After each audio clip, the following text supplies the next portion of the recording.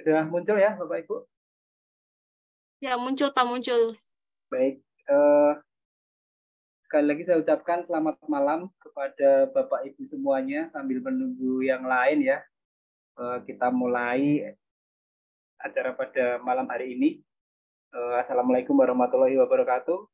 Salam sejahtera untuk kita semua. Om Swastiastu, Namo Buddhaya, Salam Kebajikan, Berkah Dalam. Uh, Bapak Ibu, Mbak Cindy, ini uh, materi yang kita diskusikan malam hari ini adalah uh, terkait dengan tender itemize. Mungkin suara saya kalau nanti ada gangguan atau tidak jelas bisa disampaikan uh, kepada saya ya Mbak Cindy ya. Iya, baik Pak. Baik. Uh, sebelumnya Bapak Ibu yang saya hormati, saya mohon izin saya memperkenalkan diri dulu Bapak Ibu. Uh, tadi sudah dikenalkan nama saya Pak Mudarlinanto.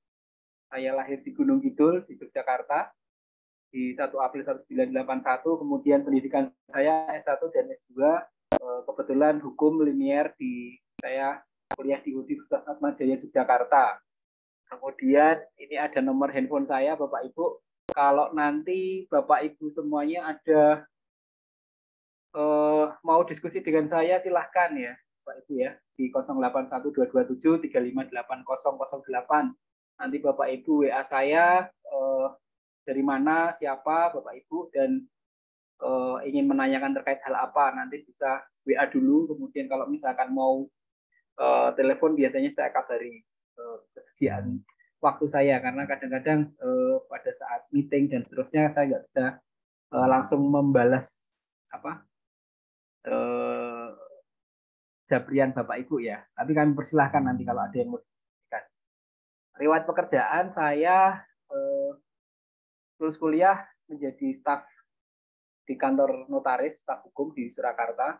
Bapak Vincenzo Henry di Surakarta Solo. Kemudian setelah itu saya pindah di eh, Credit Legal Officer di Bank OCBC yang dulunya NISP ya Bapak Ibu Jogja. Kemudian pindah lagi ke Legal Officer lagi di Bank BI dan sekarang menjadi Maybank Terus di tahun 2019 eh 2000 2009 2009 itu saya pindah dari swasta ke ASN di Kabupaten Gunung Kidul sebagai pemberi bantuan dan konsultasi hukum di uh, dulu namanya Badan Pemberdayaan Masyarakat Perempuan dan Keluarga Berencana. Kemudian saya di sana ada perubahan nomenklatur lembaga di 2014 itu menjadi dinas terpanjang se-Indonesia Bapak Ibu. DP3A, KBPF, dan D dan Eh, sebagai kasih perlindungan anak. Jadi tahun 2019 saya dipindah di bagian layanan pengadaan Sekretariat Daerah Kabupaten Kidul menjadi Kasubag Pembinaan dan Advokasi. Kemudian eh, saya beralih eh, in passing ya Bapak Ibu bukan perpindahan jabatan waktu itu in passing menjadi pejabat fungsional pengelola pengadaan barang jasa ahli muda dan pernah menjabat sebagai PLT Kepala Bagian Pengadaan Barang Jasa di Kabupaten Kidul. Dan saat ini saya kesehariannya sebagai uh, fungsional pengelola pengadaan barang jasa.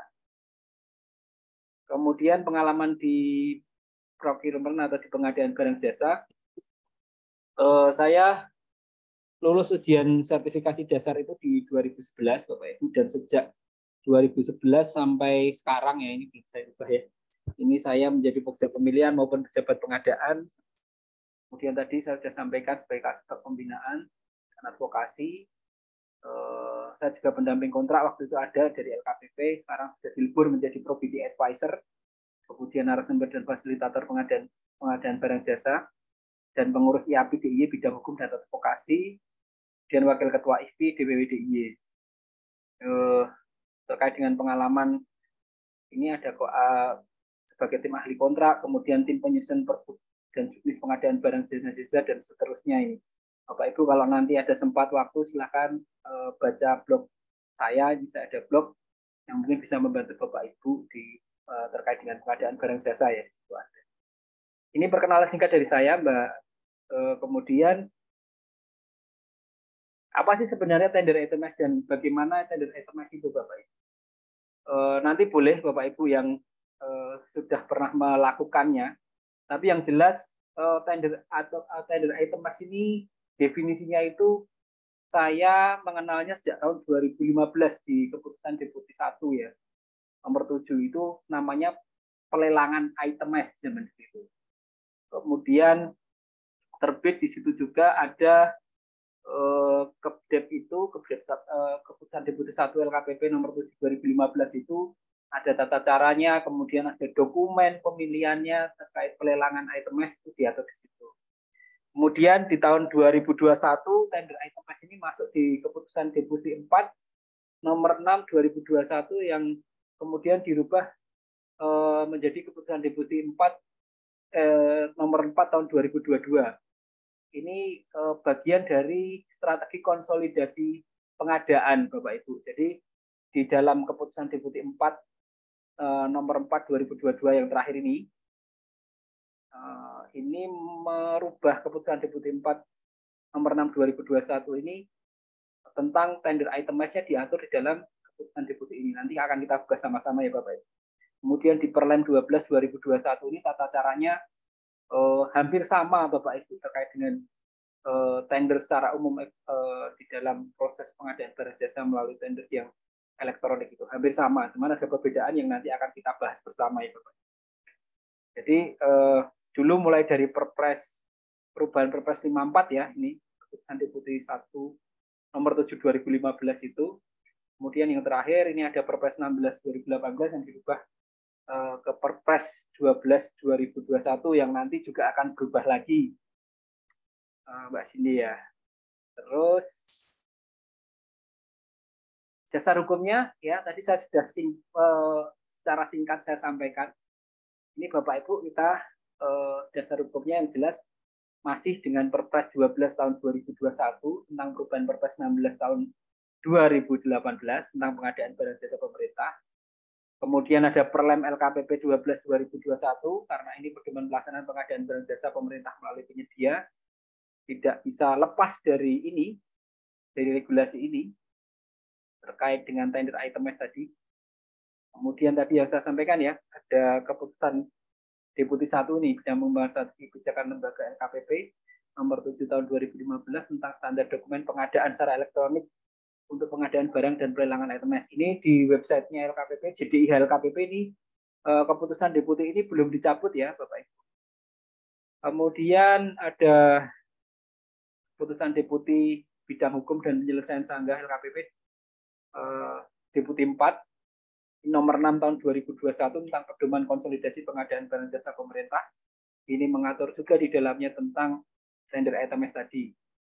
Kemudian eh, yang terakhir ini ya, keputusan Deputi Bidang Hukum dan Penyelesaian Sanggah LKPP nomor 4 tahun 2022 tentang perubahan eh, nomor 6 tahun 2021. Di Bapak Ibu, kalau Bapak Ibu nanti mau melaksanakan tender item mes ini, tolong dibaca kembali regulasi-regulasi yang terkait tender item mes ini. Baik, saya lanjutkan ya Bapak Ibu tentang dasar hukumnya sudah. Kemudian eh, apa sih tender item mes itu? Nah, ini ya kalau dari definisinya seperti ini Bapak Ibu. Terminologi hukumnya atau eh, definisi secara hukum di dalam perlem dan dalam keputusan tadi ya, keputusan deputi tadi, tender item ini adalah metode pemilihan penyedia barang atau jasa di mana sejumlah item pekerjaan sejenis dibagi dalam beberapa paket atau subpaket dan dilakukan dalam satu kali tender di mana dapat ditetapkan lebih dari satu penyedia sebagai pemenang. Ya, ini unsurnya ada. Yang pertama adalah ini metode pemilihan penyedia barang jasa. Kemudian ada item pekerjaan sejenis yang dibagi di dalam beberapa paket atau subpaket dan dilakukan dalam satu kali tender. Kemudian lebih dari satu penyedia itu bisa ditetapkan sebagai pemenang per item paket atau subpaketnya tadi. Ini di keputusan Deputi 4 eh, nomor 4 tahun 2022 tadi ya perubahan tadi. Oke. Nah, pertimbangan tender item mes ini dilakukan atau di, di, dilakukan oleh PPK dan Pokja ini dengan mendasarkan pada hasil identifikasi kebutuhan dan analisis pasar Jadi sebelum Bapak Ibu PPK dan Akan melakukan tender items, lakukan dulu identifikasi kebutuhan dan analisis pasar terkait dengan uh, paket item barang komponen barang yang akan dilakukan tender dengan items tersebut.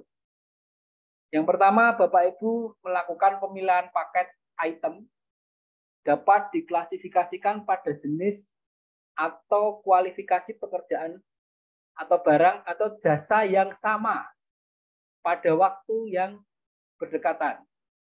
Jadi ada jenis atau kualifikasi pekerjaan atau barang atau jasa yang sama pada waktu yang berdekatan.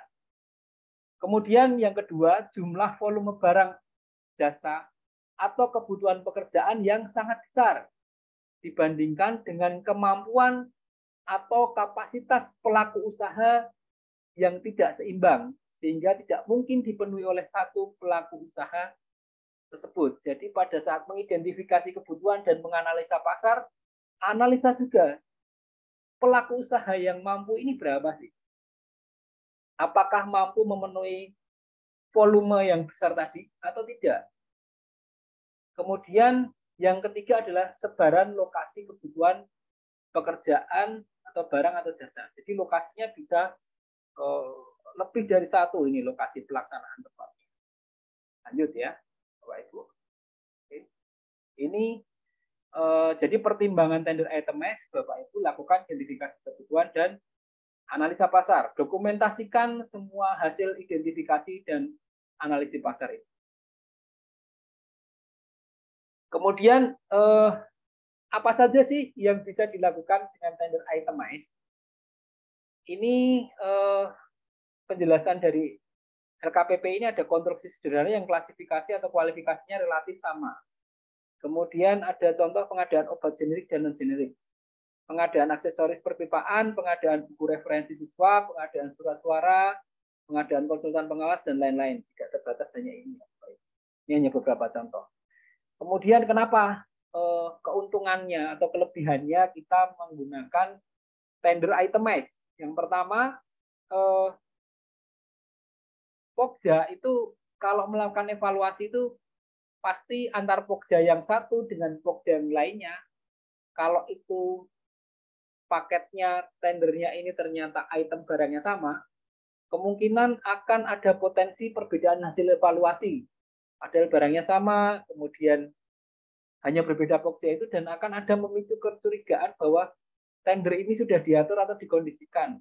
Nah, ini dapat diminimalisir kalau ada tender item yang dilakukan dengan tender item.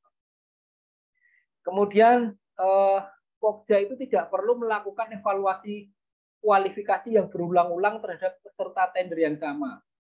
Jadi ada kemungkinan misalkan item obat ini ya ditawar oleh eh, penyedia ya kan, dan ini eh, tender obatnya berkali-kali, gitu.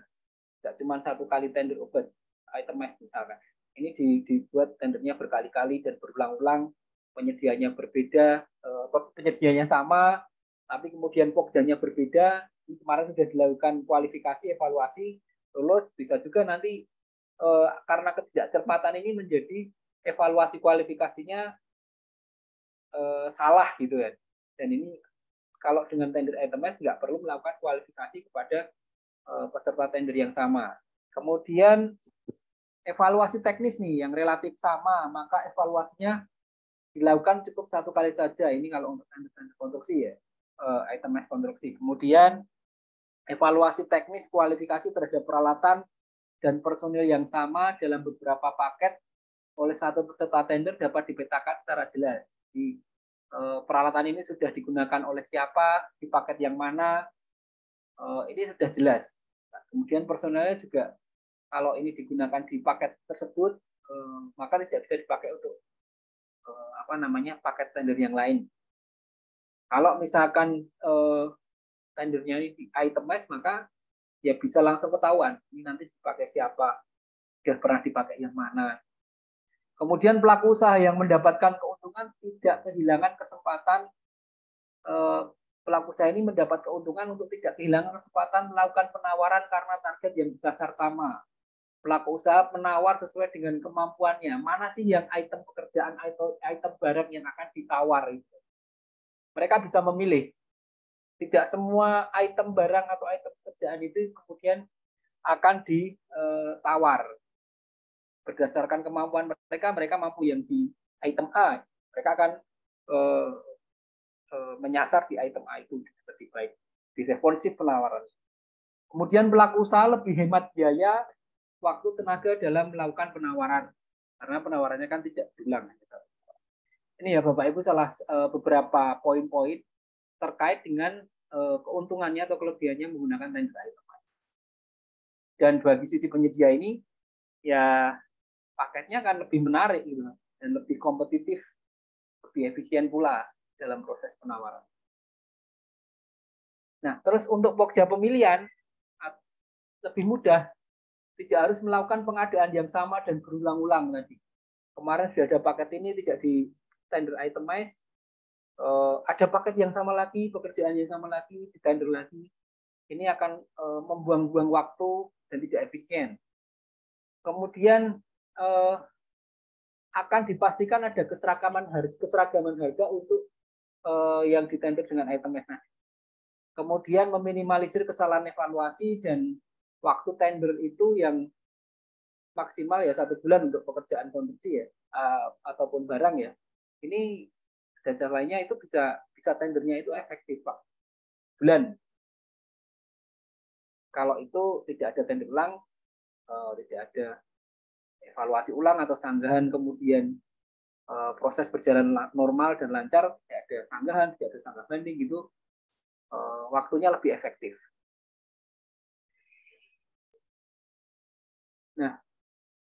Kapan metode tender itemized ini digunakan Bapak Ibu? Yang pertama ada keragaman item atau keragaman pekerjaan, keragaman e, barangnya gitu kan. Ini sangat e, banyak ragamnya, tidak hanya satu jenis. Kemudian penyebaran lokasi atau tempat kerja atau tempat serah terimanya yang banyak atau berbeda-beda lokasinya e, penyerahan barang misalkan itu berbeda-beda pada beberapa tempat Kemudian ada keterbatasan kapasitas pelaku usaha. Maksudnya ini jadi pada saat PPK ini melakukan mapping, melakukan PPK, siapa sih yang penyedia yang bisa menawar paket ini? Ternyata hanya beberapa penyedia ini yang yang punya kemampuan untuk menawar dan untuk kapasitas volume pekerjaan atau barang ini ternyata eh, setelah di mapping ini hanya penyedia ini misalkan dibutuhkan volumenya 5000 gitu kan untuk item barang. Ternyata penyedia yang disurvei mampu ini hanya ada uh, satu penyedia atau dua penyedia gitu yang punya kemampuan untuk menyediakan hanya 3000 sehingga perlu di uh, itemize, di tender itemize supaya uh, kapasitas pelaku usaha ini dia mampunya nawar 3000 ya masing-masing nawar uh, sesuai kapasitasnya mereka. Kemudian dapat dilakukan untuk per kelompok item barang atau jasa lainnya. Kemudian dapat dilakukan untuk per kelompok subpaket Nah, ini eh, peserta ini dapat menawarkan satu atau beberapa atau seluruh item barang atau jasa lainnya paket yang ditenderkan. Jadi tidak harus menawar semuanya ya. Karena ditawarkan ada 100 item gitu kan, 100 item barang atau jasa, penyedia ini bisa memilih dua, tiga atau bahkan satu yang dia mampu untuk uh, menawar itu. Kemudian Pokja ini dapat menetapkan lebih dari satu pemenang. Kemudian ada negosiasi teknis dan harga terbaik yang sama untuk uh, seluruh pemenang. Nah, ini cukup uh, bagi Bapak Ibu metode tender itemize ini bisa dilakukan dengan kondisi-kondisi paketnya seperti ini Bapak Ibu. Ada 1 2 3 4 5 ini ya kondisinya. Oke, lanjut ya Bapak Ibu. Eh, kemudian dilakukan untuk sejumlah pekerjaan atau barang jasa sejenis yang terbagi menjadi beberapa paket item pekerjaan atau barang atau jasa dan dilakukan sekaligus. Jadi satu kali tender. Jumlahnya eh, barang tadi kan misalkan ada 100 lebih gitu kan. Ini bisa ditenderkan sekaligus. Dalam hal terdapat paket item pekerjaan atau barang atau jasa yang gagal, maka untuk paket item tersebut dapat dilanjutkan melalui mekanisme tender gagal. Jadi misalkan ada 100 item ini yang ditawarkan oleh Pokja atau PPK. Yang ditawar oleh penyedia ini hanya 85 item yang laku. Yang 15-nya ini nggak laku. Ya 15-nya ini bisa diproses tender lagi. Atau kalau nilainya tidak tidak tender ya dilakukan dengan pengadaan langsung kalau memang ada penyedia yang mampu untuk melaksanakan pekerjaan sisa tadi. Misalkan eh, 100 item ini tadi nilainya satu miliar gitu. Dan ternyata jadi tawar 85 item, kemudian yang 15 item ini nilainya cuma di bawah 200 juta. Bisa dilakukan melalui mekanisme eh, e-katalog ataupun pengadaan langsung dan seterusnya. Kemudian penandatangan kontrak untuk tender itemized dapat dilakukan dengan menggunakan kontrak payung atau kontrak dengan masing-masing PPK. Ini ada terkait tadi apa? E, kalau ada beda PPK dikonsolidasikan ya. Kemudian pelaksanaan tender itemized dapat dilakukan melalui aplikasi SPSE. Ya, Bapak Ibu bisa melakukan dengan menggunakan aplikasi SPSE, tapi nanti akan kita bahas lagi nih. Apa sih kekurangannya dengan uh, metode tender item di SPS kita. Iya, tentuannya Bapak Ibu. Oke, lanjut.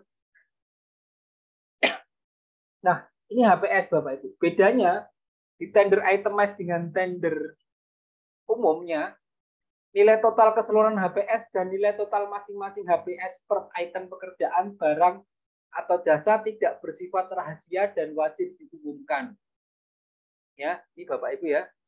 Jadi 100 item barang tadi atau pekerjaan tadi harus diumumkan nih.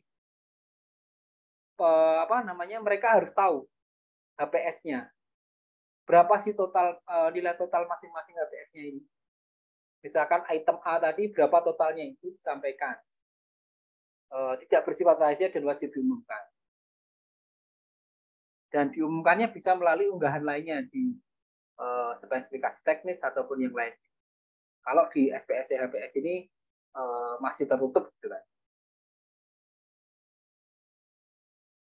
Nah, jangan lupa ini Bapak Ibu di keputusan Deputi 4 tahun 2022 ini dalam persiapan pengadaan tender item mes PPK menuangkan dalam formulir penetapan tender item mes di tahap persiapan pengadaan. Jadi PPK akan mengusulkan nih kepada Pokja dan UKPBJ. Tendernya bagaimana? Tender itemized. Uh, pakai apa metodenya? Seleksi atau penunjukan langsung atau ten, uh, atau kontrak payungnya?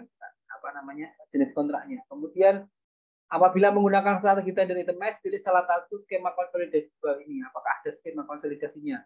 Itemized terhadap paket pengadaan, susunan skema konsolidasi itemized. Itemized terhadap lokasi barang yang berdekatan, itemized terhadap kemampuan penyedia. Ini kategorinya itemized, itemized yang mana. Ini harus dituangkan oleh teman-teman PPK di dalam formulir penetapan standar itemized. Nah, ini di keputusan Deputi 4 2000, eh, nomor 4 2022. Ini Bapak Ibu nanti bisa lihat di sana diunduh eh, contoh formulirnya. Kemudian pada saat persiapan pemilihan ini tadi, oh, PPK bisa melakukan identifikasi paket sejenis untuk dilakukan tender itemized dengan sumber data di sirup. Ini kepala UKPBJ sebenarnya juga boleh melakukan identifikasi ini dibantu oleh teman-teman fungsionalnya. Mana-mana paket-paket yang kemungkinan bisa dilakukan eh, paket sejenis yang bisa dikelompokkan berdasarkan kualifikasinya atau terhadap pekerjaan dengan ruang lingkup dan nilainya yang relatif sama maka tender tidak dilakukan satu persatu. Masing-masing paket melainkan dapat dilakukan sekaligus satu kali tender untuk beberapa eh, paketnya dijadikan satu. Sehingga eh, terkait item mas ini masuk di perlen atau keputusan deputi, maaf, keputusan deputi tentang eh, konsolidasi tadi ya, Bapak. Kemudian apabila PPK berbeda dilakukan PPK-nya berbeda-beda nih, dilakukan penyamaan persepsi dulu antar PPK.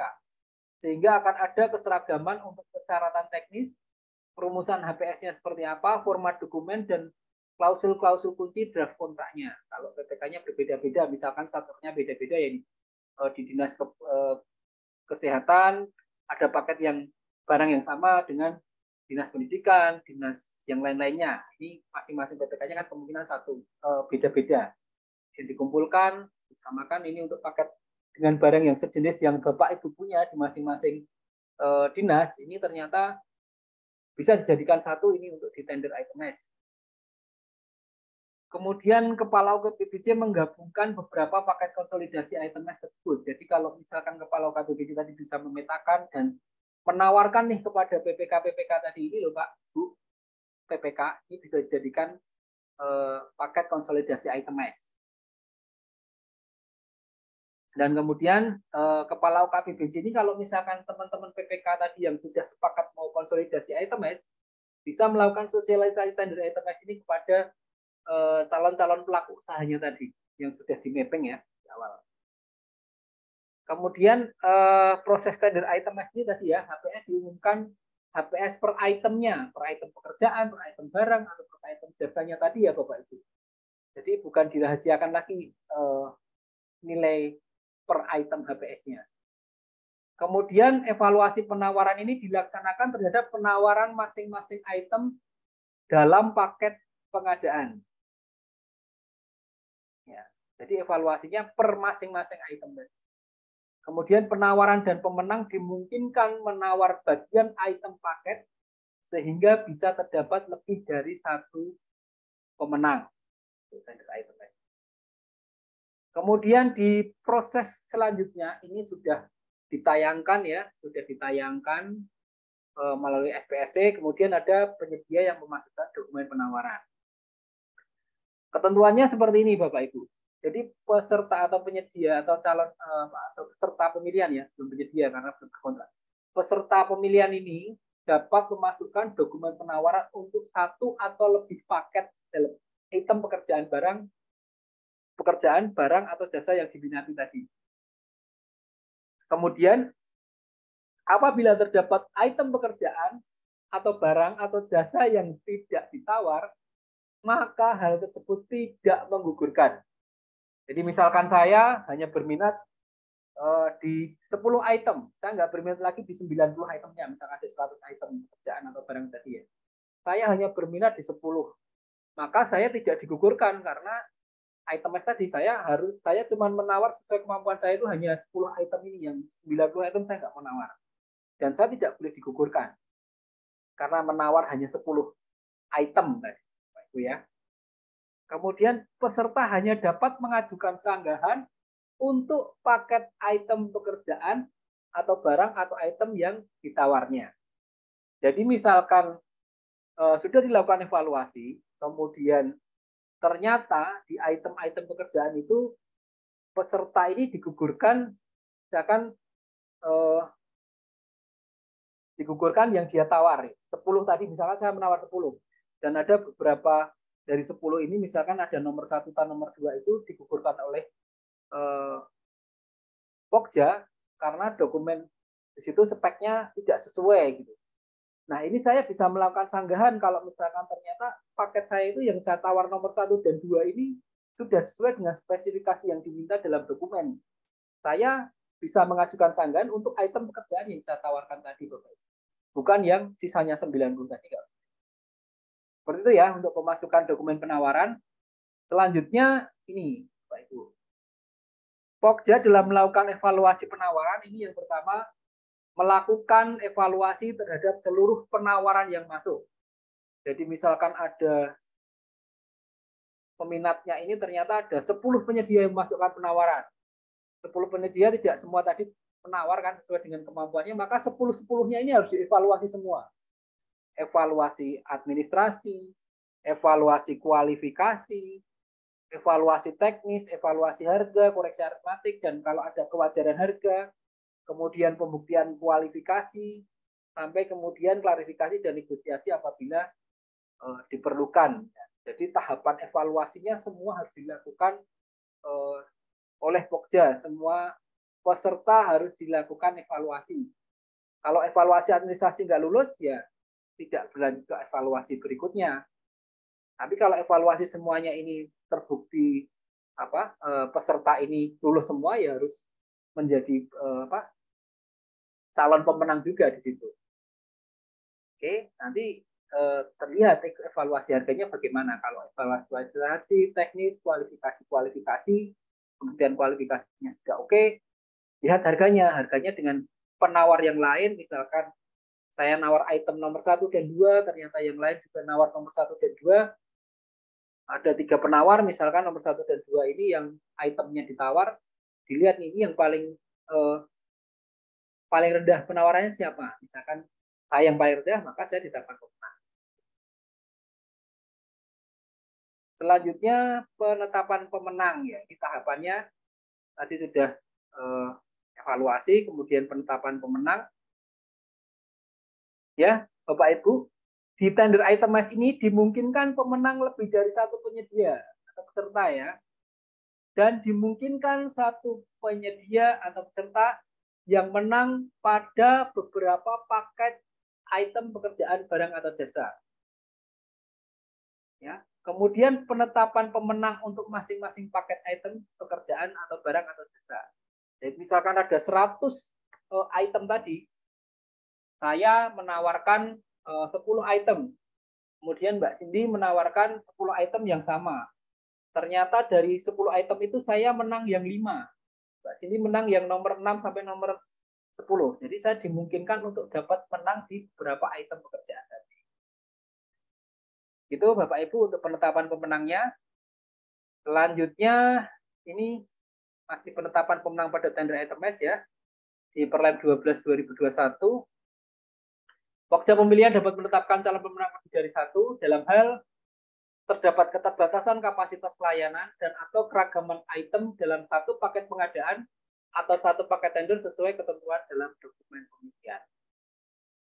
Kemudian di tahapan kontrak ya, ini sudah selesai, sudah dilimpahkan di PPK kembali, PPK memproses SPPBJ dan kemudian berkontrak. Kemudian kontraknya ini bisa dilakukan seperti kontrak pada umumnya. Bisa eh, per masing-masing paket tadi akan menghasilkan masing-masing kontrak. Terus Nah, ini yang tadi yang keputusan deputi itu ya, yang uh, ini belum dicabut juga Bapak Ibu. Jadi intinya di sana uh, masih menggunakan kalimat pelelangan item S adalah satu pelelangan yang memperbolehkan peserta menawarkan satu atau beberapa seluruh item pekerjaan yang dilelang. Item barang jasa adalah kumpulan barang atau jasa yang merupakan satu kesatuan fungsi satu jenis barang. Prinsip sama dengan pelelangan pada umumnya dimulai dari perencanaan dengan pelaksanaan kontrak. Pelaksanaan menggunakan jenis kontrak harga satuan. Nah, ini eh, kalau saya analisa, Bapak Ibu, keputusan Deputi 7 2015 ini kan ada dokumen pemilihan tender ITMS. Nah, ternyata di Perlem 12 2001 tentang uh, pemilihan melalui penyedia ini belum ada model dokumen pemilihan yang uh, itemized sehingga uh, mungkin ini tidak dicabut ya kemungkinan analisa saya tidak dicabut uh, keputusan ini karena ada contohnya nih contoh terkait dengan dokumen pemilihan uh, pelelangan itemized dan ini bisa menjadi referensi Bapak Ibu untuk menyesuaikan model dokumen pemilihan di yang diatur di Perlem 12 tahun 2001. Nah, ini kalau di jenis pelelangan item keputusan diskusi 2015 ini ada satu pemenang setiap item. Ya, tadi sudah ya analisa kondisi pasar, volume barang tiap item, kapasitas produksi, persediaan jangkauan SDM dan layan dan layanan jangkauan layanan. Kemudian yang lebih dari satu pemenang setiap item mempertimbangkan kondisi pasar, identifikasi penyedia yang mampu ini ada ada dua jenis kalau di uh, keputusan Deputi 2015. Nah, kalau kalau yang di keputusan Deputi 4 uh, eh, nomor 4 tahun 2022 ini yang pertama ada tender items berdasarkan pengelompokan item barang atau jasa yang sejenis. Kemudian yang kedua ada tender items berdasarkan lokasi kebutuhan barang jasa yang berdekatan. Kemudian yang ketiga, tender itemized berdasarkan kemampuan atau kapasitas penyedia tadi memberikan hmm, layanan apa eh, penawarannya tadi. Jadi ini di, diatur di dalam keputusan Deputi 4 tahun 2004 nomor 4 tahun 2022 terkait dengan jenis standar item ini. Dan ada contohnya Bapak Ibu. Ini ya, kalau contohnya ini contoh satu ini ada tender pengadaan barang jasa yang dilaksanakan oleh 9 PPK yang berbeda. Jadi ini PPK-nya ada 9, kemudian eh, ada paket X1, X2, X3 ini X-nya ini Pak eh, maksudnya pengadaan barang dan jasanya ini sama jenisnya X semua. Tapi ada PPK 1, PPK 2, PPK 3, kemudian dikonsolidasi dengan tender item mes, eh, kemudian paket 1, paket 2, paket 3 ada pemenangnya ABCD atau bisa juga paket 1, 2, 3 ini yang menang eh, pemenang A itu ada menang di X1 dan X2 juga memungkinkan. Iya, contohnya. Dan UKPBJ tadi bisa aktif untuk mengusulkan ya kepada PPK untuk melakukan tender SMS. Dan masing-masing pemenang paket kalau dari contoh ini akan berkontrak dengan masing-masing gitu. Pemenang A nanti berkontrak dengan PPK 1, pemenang PPK 2, pemenang C PPK 3. Nah, perhitungan mulai sisa kemampuan baik itu berdasarkan kontrak. Jadi kalau pemenang A ini, ini maksimal SKP kalau pekerjaan konstruksi ya, ini kan 5. Nah, jadi kalau A ini hanya bisa misalkan nawar di paket Y dan Z ini dia hanya bisa eh, menang sebanyak 5 paket ya kalau itu Kemudian ini berdasarkan lokasi kebutuhan. Lokasinya di mana? Di Sumatera, Kalimantan, Jawa, Sulawesi, Bali, Nusa Tenggara, Papua. Kemudian dibagi per area nih. Area satu ada Sumatera, Kalimantan, Jawa. Area 2 ada Jawa Sulawesi, area 3 ada Bali Nusa Tenggara Papua. Ini tender ITMS. Berdasarkan kedekatan wilayah, bagi menjadi tiga area pengadaan barang Kemudian pada paket tender ITMS ini terdapat satu penyedia yang menang pada dua paket item yang berbeda. Misalkan ini apa menang A dan B. Ya, kontraknya nanti kepada eh, PPK ini, PPK 1 ini PPK konsolidatornya ya. Kontraknya ke masing-masing PPK ini.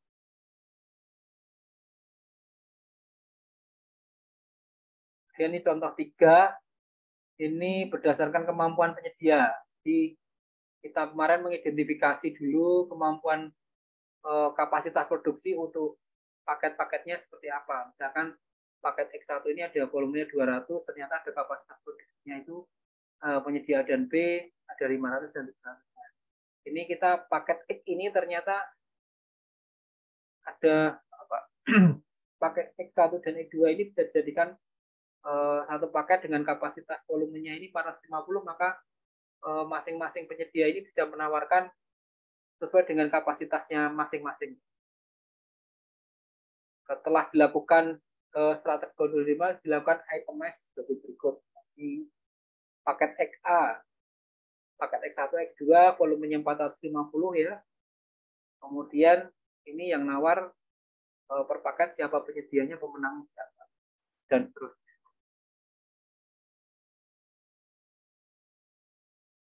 Jadi dilihat dari kapasitas produksi atau kemampuan dia mem, um, memberikan hasil pengadaannya. Nah, tapi Bapak Ibu uh, selain banyak keuntungan atau manfaat menggunakan tender item ini, uh, jujur kami yang melakukan proses pemilihan ini, yang pertama terkait dengan aplikasi SPS ini memang belum sepenuhnya responsif digunakan ya. Jadi masih ada keterbatasan-keterbatasan pada sistem misalnya eh, belum bisa menampilkan harga penawaran per item. Jadi hanya Pokja yang bisa tahu, tapi dari posisi teman-teman penawar atau masyarakat umum melihat itu tidak bisa muncul nih eh, harga yang menang itu seperti apa, tidak bisa seperti tender-tender biasa itu pemenang 1, 2, 3 kelihatan angkanya berapa. Tapi kalau di sini karena tadi bisa banyak pemenang tadi yang menang, ini enggak uh, itemnya itu belum muncul per item harganya. Kemudian uh, tender item mas ini dipaham di di tataran PPK ini masih belum sebagai strategi mengoptimalkan uh, proses pengadaan barang jasa. Jadi karena belum memahami tender ITMS ini, belum mengetahui bagaimana sih kontraknya nanti, bagaimana proses pembayarannya, ini belum dipahami oleh PPK ini sehingga PPK banyak yang gampang, banyak yang belum atau enggan melakukan uh, tender ITMS atau konsolidasi ITMS. Kemudian dari sisi penyedia memang belum sepenuhnya memahami terkait dengan tender ITMS ini. Hanya mungkin pelaku-pelaku usaha yang sudah paham seperti pelaku-pelaku usaha uh, terkait dengan pengadaan obat itu yang sudah tahu mekanisme tender ITMS ini bahwa yang menawar itu harga per itemnya bukan per uh, paket seluruhnya tapi lebih ke item-itemnya Nah ini Bapak Ibu kalau di Kabupaten Gunung Kidul ini kemarin ada contoh tender ITMS obat uh, nilainya 700 sekian juta ya. Kemudian ini kita menggunakan tender ITMS. Nah ini di, di paketnya itu nanti sudah ada uh, namanya ini tender item sudah muncul. Kemudian, nah ini yang saya contohkan tadi ya ada ada apa uh, kelemahan masih ada kelemahan di sistem ini dan ini belum belum ada perbaikan uh, di SPSE kita. Ini yang kelihatan ini uh, semuanya menang bintang bintang bintang bintang tapi nggak tahu menangnya di mana di item apa ini nggak kelihatan hasil evaluasinya seperti ini. Semuanya dapat bintang nih.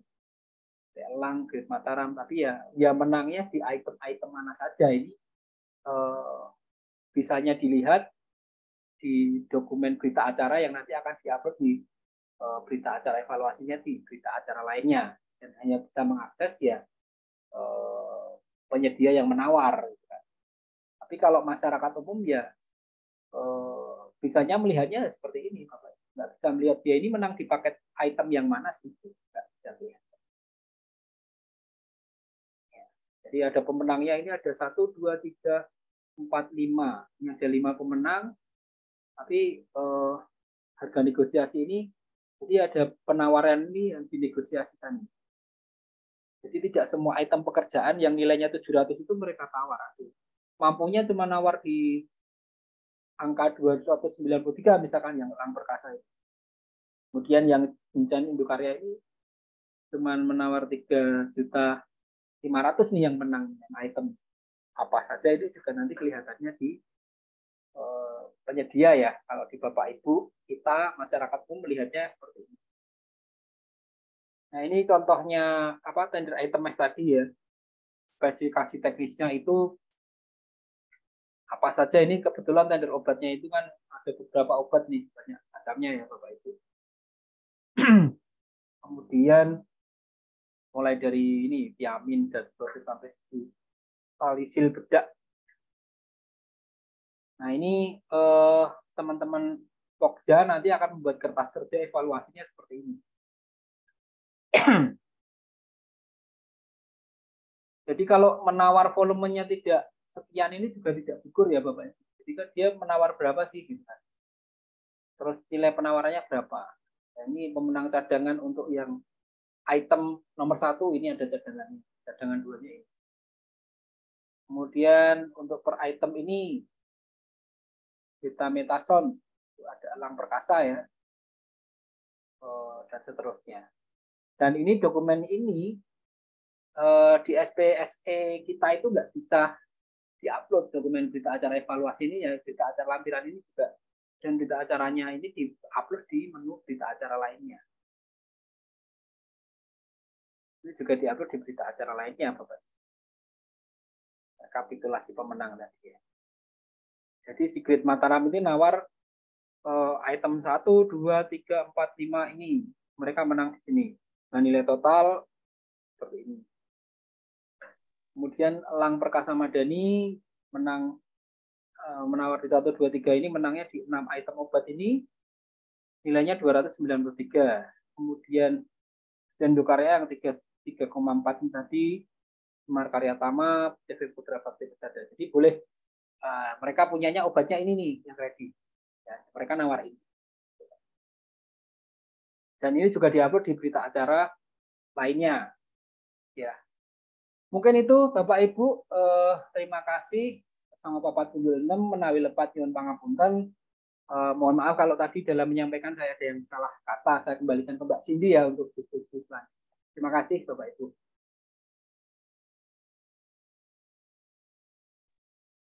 Baik, itulah tadi pemaparan materi yang sangat luar biasa dari narasumber hari ini. Selanjutnya kita memasuki sesi tanya jawab atau diskusi.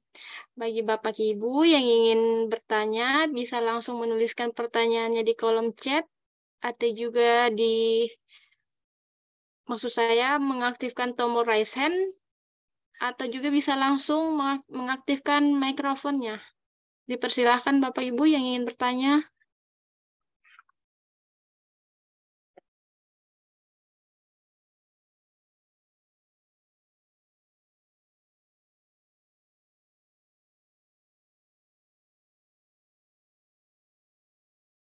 Sana jam berapa Mbak Cindy? Untuk di Kendari jam 9 malam, Pak. Jam 9 malam. Ya. Ini Pak ada pertanyaan di kolom chat dari Bapak Erwin Mutakin. Maaf, baru mengikuti tender ini kalau untuk konstruksi bagaimana? Oke, uh, saya coba jawab ya. Ini kita buka, kita bukakan perlemnya ya. Perlem.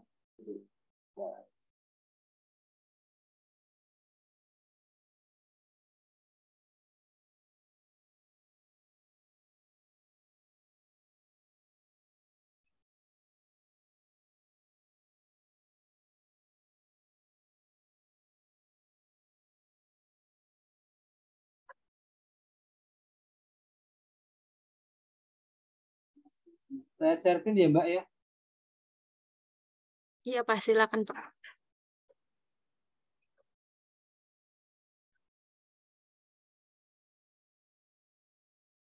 Sudah kelihatan Mbak? Kelihatan Pak. Iya. Tadi yang bertanya Pak Erwin Mutakin ya, Pak Erwin. Uh, terima kasih Pak Erwin, nggak apa-apa. Uh, jadi kalau di Perlem nomor 12 tahun 2021 ini disebutkan bahwa ini eh, dalam hal terdapat penyebaran lokasi atau tempat kerja dan atau keterbatasan kapasitas pelaku usaha, maka Pokja pemilihan dapat menetapkan metode tender itemized. Tender itemized juga dapat dilakukan untuk per kelompok sub paket. Pada tender itemized, peserta pemilihan dapat menawarkan satu atau beberapa sub paket yang ditenderkan dan Pokja pemilihan menetapkan lebih dari satu pemenang uh, penyedia. Jadi untuk ketentuannya tender item di pekerjaan konstruksi ini diperbolehkan ya Bapak. Jelas uh, tadi harus ada identifikasi dulu ataupun analisa pasar terkait dengan yang pertama adalah apakah ini uh, terdapat penyebaran lokasi atau tempat kerja? Kemudian dan atau bisa salah satu ya ada kapasitas keterbatasan kapasitas pelaku usaha. Misalkan ternyata pelaku usaha konstruksinya segitu yang eh, apa namanya yang minimal gitu ya minim tidak banyak yang mampu gitu kan.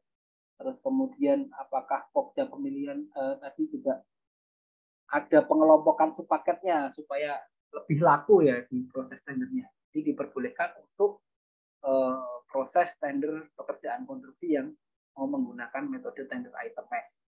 Ketentuannya seperti itu ya. Tidak ada larangan uh, untuk menggunakan tender item mesh di uh, pekerjaan konstruksi. Misalkan contohnya di tempat kami ini pernah ada konsolidasi uh, paket untuk pekerjaan konstruksi, tetapi uh, paketnya waktu itu konsolidasi uh, bisa dengan nah saya ingat-ingat waktu itu paket konsolidasinya tidak banyak pemenang sih, tapi hanya satu pemenang kalau uh, ada pilihan konsolidasi dengan uh, tender items dengan lebih dari satu pemenang dimungkinkan. Kalau di tempat kami kemarin uh, misalkan ya dari satu SD itu dalam satu SD itu ada rehab. Di rehab itu ada pekerjaan kamar mandi, ada pekerjaan uh, apa laboratorium misalnya ada pekerjaan ruang guru ada pekerjaan pagar ada pekerjaan landscape halaman misalkan itu kan. Dan ini ditenderkan menjadi satu paket. Dan uh, kalau waktu itu kami tidak satu pemenang tapi uh, tidak banyak pemenang tapi cuma satu pemenang. Jadi pemenang yang yang menawar semua ini dan lulus itu yang dapat sebagai pemenang. Jadi tidak tidak per item mais waktu itu. Kami pernah mencoba melakukan konsolidasi itu. Kalau yang untuk pekerjaan konstruksi kami belum pernah ada tender items uh, baru pengadaan obat itu yang sering dilakukan. Tapi kalau dari contoh-contoh lain ini uh, banyak paket-paket yang lain yang sudah di, dilakukan tender items contohnya ini ada pengadaan items aksesoris sambungan rumah di tahun 2022 ini di PDAM Tirta Tirta Sidoarjo kemudian ada item pengadaan buku referensi mahasiswa kemudian obat dan seterusnya. Begitu eh, Pak Cindy untuk jawaban ke Pak Erwin Mutakin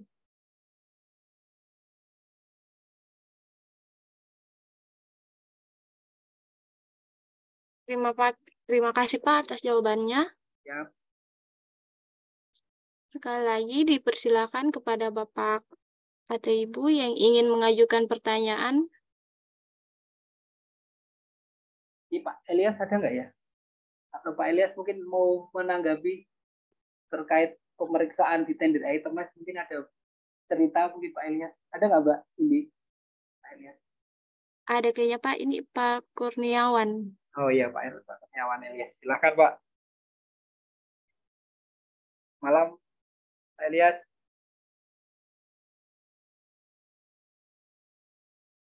Mungkin belum on. Ya, bagaimana ya? Ya, gimana Pak Elias? Ada pengalaman memeriksa tender itemnya di sana Pak Elias? Uh, auditor. Saya sudah bukan auditor lagi. Weh, di mana sekarang Pak? Sa saya di anu berhentikan sementara dulu. Saya di oh, struktural iya. sekarang. Struktural, Pak. Hmm. Uh, di dinas apa, Pak? Kabak hukum. Wah, mantap, mantap, mantap.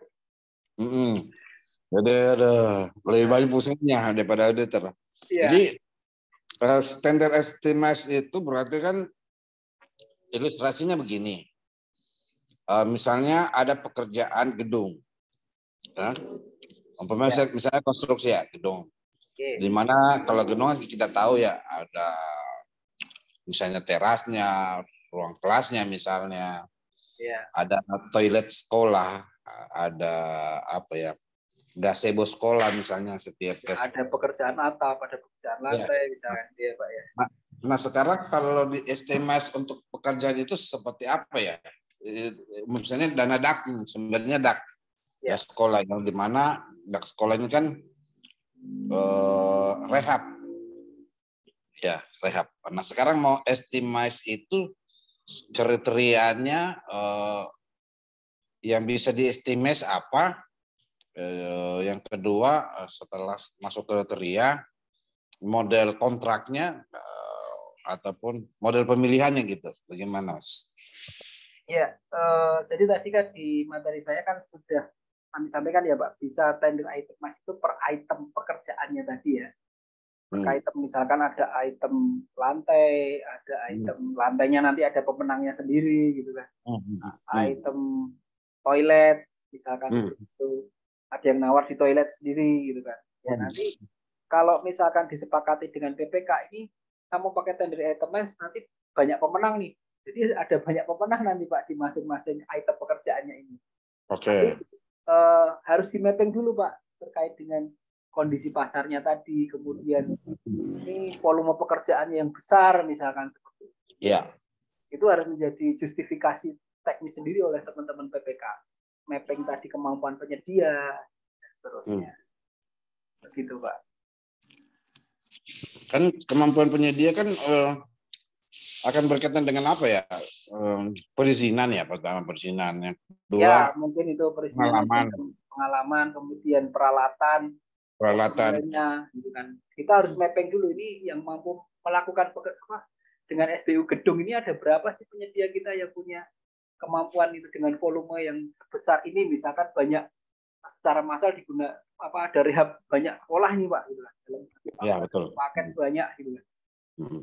dan ternyata SKP-nya ini kan uh, harus lima misalkan berarti kan hmm. dia dengan paket pekerjaan yang banyak ini potensi penyedia yang ada di Gunung Kidul ini nggak mampu nih kalau cuma uh, apa namanya di tender satu paket untuk mengerjakan semuanya mungkin dia akan milih paket-paket yang yang apa namanya yang seksi gitu ya pak yang dia mampu juga gitu hmm. tapi kami Jadi, belum pernah yang melakukan item itu pekerjaan konstruksi hmm. belum pernah belum pernah gambarannya, gambarannya seperti itu pak kami melakukan kemarin yang konsolidasi tapi ah. tidak itemized konsolidasi tetap hmm. apa uh, dalam satu wilayah gitu kan ada yeah. beberapa SD SD yeah. itu jadikan satu tapi hmm. item pekerjaan per SD itu tidak kami tenderkan satu-satu dan banyak pemenang tapi di dalam uh, wilayah itu ada beberapa SD dan, dan ini harus mengerjakan SD SD itu gitu satu paket per SD itu tidak per item hmm. pekerjaannya kami kemarin konsolidasikan seperti itu jadi eh, berarti kontraknya cuma satu ya, umpamanya SD A, B, C, D di lokasi yang berbeda, berarti kontraknya cuma satu. Uh, kalau waktu itu kan masing-masing SD itu kan ada ada rekeningnya masing-masing pak. Di DAK hmm. itu kan, hmm. misalkan SDA itu hmm. dia dapat paketnya bangun apa uh, kamar mandi tiga hmm. unit, hmm. terus bangun ruang kelas empat gitu, terus hmm. bangun ini berapa sekian. Nah, ini kontraknya per masing-masing item pekerjaannya tadi. Itu kalau konsolidasi. Kalau, kalau, kalau konsolidasi ada, gitu. Uh, jadi ada kontrak induknya, ya kan? Hmm. Kemudian hmm. ada kontrak per per pekerjaannya tadi. Oke, kalau begitu eh, tanggung jawab hmm, antara penyedia gini, Mas. Tapi kemarin kami satu penyedia ya, Pak ya. Jadi empat hmm. ini dikerjakan oleh satu penyedia uh, yang sama itu jadi empat kamar mandi satu, hmm. misalkan tiga ruang ruang kepala sekolah ini kami tidak pecah per per item ini tadi tapi tetap kami konsolidasikan yang menang hanya satu per, per SD ini yang ada paket-paket ini tadi yang menang cuma satu penyedia gitu kan kemarin jadi tidak banyak penyedia Oh, jadi umpamanya ada lima SD cuma satu penyedia gitu ya misalkan di SD itu kan ada item pekerjaan-pekerjaan tadi uh, kita hmm. konsolidasikan SD yang berdekatan ya mereka dapat mengerjakan ini tadi uh, per masing-masing kontraknya itu tadi pak dan maksimal kan lima SKP itu kalau hmm. Jadi kalau SKP-nya lima ya dia nggak bisa nawar yang lain lagi ya berarti modelnya bukan anu ya bukan seperti gini saya kasih ilustrasi bukan, per item yang masuk Bapak ya, per item. Ada yang banyak kerja, gitu. Belum, kami... PT, misalnya ya. PT Kurniawan ya PT ya. Kurniawan kerja khusus toilet saja misalnya. Ya. Enggak. Oke. Tapi berbeda gedung gitu, berbeda ya. gedung. Bisa Pak dimungkinkan itu kalau misalkan di tender item mesnya ini tadi menyatakan bahwa ini uh, tendernya item mes banyak pemenang gitu. Bisa lebih dari satu pemenang. Itu kan ada state nanti di dokumen kita, Pak memungkinkan itu pak untuk item itu.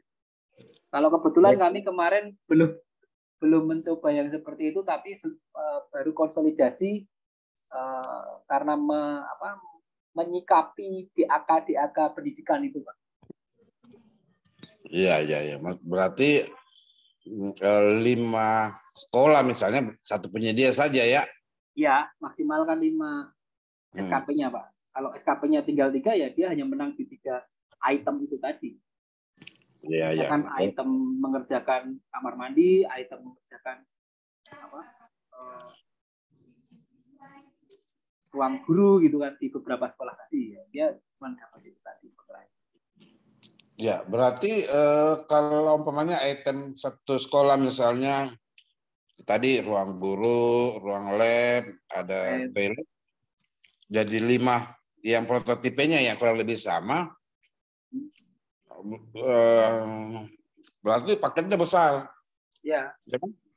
Ya, mungkin itu gabungan dari beberapa sekolah. Misalkan di satu kecamatan itu sekolahnya ada 10 atau 15 tuh, Pak. Hmm. Gabungkan itu. Oke, oke. Berarti prototipenya harus sama ya, karena uh, untuk kalau prototipe kayaknya kalau sekolah-sekolah SD rehab itu ya hampir sama ya Pak. Eh, apa namanya? luas luas ruangannya seperti apa. Kemudian karena ada juknisnya dari Kementerian Pendidikan kalau nggak salah Pak untuk ruangan-ruangan. Hmm. Jadi itu kan sudah sudah terstandarkan ya Pak luasnya, kemudian kapasitas terus menggunakan apa eh, lantainya dan seterusnya. Hmm, gitu. Berarti uh, setiap anu, setiap SD ini uh, punya gambar tersendiri ya dan atau rap ya. tersendiri nantinya. Iya, mungkin ada ada ininya tadi Pak perhitungannya yang yang mau direhab yang mana nih? Karena masing-masing sekolah itu ada yang rehabnya ringan, rehab TK berat, rehab sedang. Tapi kalau untuk untuk apa uh, luas ruangannya dan apa spek ruangannya dan spek bahan bangunannya itu kan sudah sudah bisa di uh, setarakan ya Pak, disamakan antara SD 1 dengan SD yang lainnya gitu Pak. Terstandarkan. Jadi sepakati IPPK. Berarti cuma, berarti cuma satu penyedia ya, saya kira eh, lebih dari satu gitu. Kalau yang tempat kami satu penyedia Pak, tapi kalau di tender item ini dimungkinkan banyak penyedia ya tergantung dokumennya tadi dan mappingnya PPK mau seperti apa. Kalau mau tender item ya kita fasilitasi tender item banyak pemenang itu memungkinkan Pak tidak ada larangan di apa Perlem 12 ya. Oke, makasih Mas Tommy. Ya. Ini kayaknya ada yang dicat tanya lagi Pak Erwin nih Pak. Dapatkah auditor mengunjungi vendor barang dalam rangka melihat kualitas suatu barang untuk analisis pasar? Karena barang tersebut sering digunakan dalam pekerjaan instalasi. Ini pertanyaannya kok auditor ya Pak? Atau auditor pengaudit PPK ini?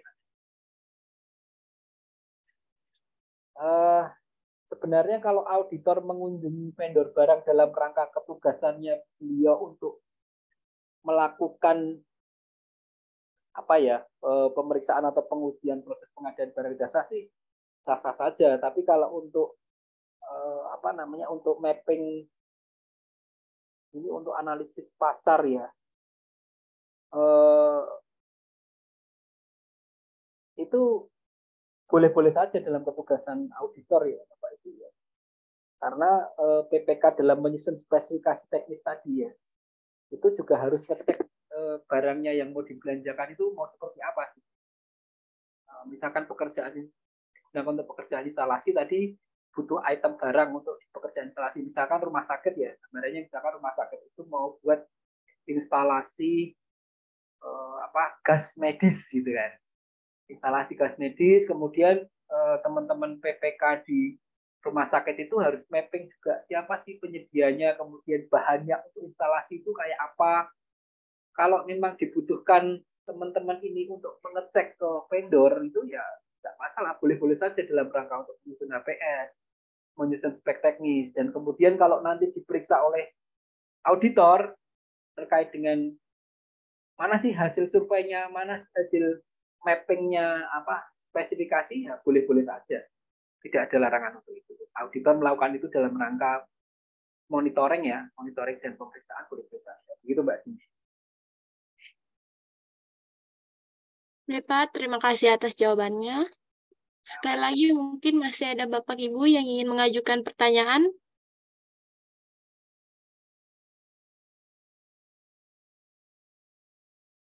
Jika tidak ada, mungkin dari Bapak Tommy ada close statement untuk materi hari ini. Ya, eh, terima kasih Mbak Cindy ya. Eh, mungkin ini baru pertama kali saya ketemu Mbak Cindy dan teman-teman peserta ya. Silahkan Bapak Ibu eh, dalam proses tender item ini betul-betul melakukan mapping kapasitas penyedianya, kemudian eh, terkait dengan survei harga dan seterusnya ini memang harus kita dokumentasikan dengan baik sebelum kita menyatakan uh, mau dilakukan proses tender dengan metode tender itemized tersebut. Kemudian uh, saya juga mohon maaf kepada Bapak Ibu semua apabila dalam penyampaian materi ada yang kurang berkenan, uh, mohon dimaafkan ya Bapak Ibu. Uh, kemudian silahkan nanti kalau misalkan masih ada diskusi, saya terbuka silahkan simpan nomor HP saya apabila Bapak Ibu suatu saat uh, perlu diskusi dengan saya. Itu aja Mbak. Terima kasih dan uh, salam sehat, salam sukses semua untuk Bapak Ibu yang ada di ruangan Zoom meeting. Saya kembalikan ke Mbak.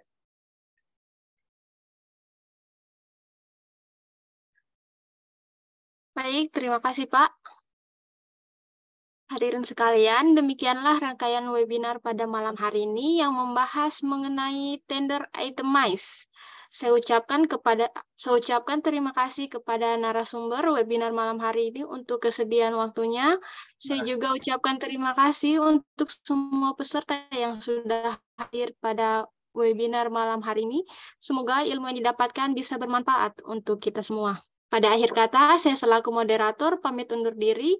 Mohon maaf apabila banyak kekurangan dan kesalahan dalam acara webinar kali ini. Sampai bertemu kembali di kegiatan webinar selanjutnya. Wassalamualaikum warahmatullahi wabarakatuh. Terima kasih, Pak. Warahmatullahi wabarakatuh. Terima kasih, Mbak Cindy ya, Pak. Terima kasih, Pak Tommy. Ya, selamat ya. malam, mohon izin ya. Itu. Ya.